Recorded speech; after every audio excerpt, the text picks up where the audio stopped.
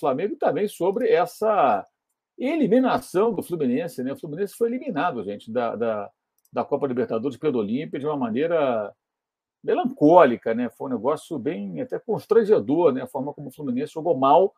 Aliás, o Fluminense vinha com mais resultado, vinha dizendo isso, do que desempenho, né?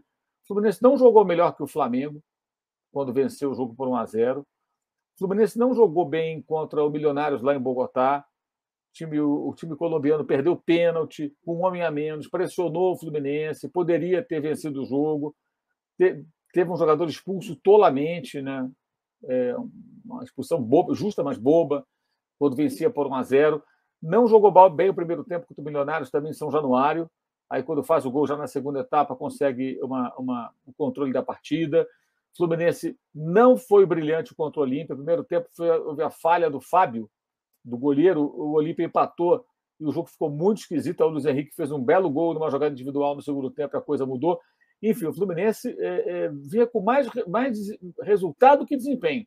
E hoje foi muito mal. Muito mal, muito mal, muito mal.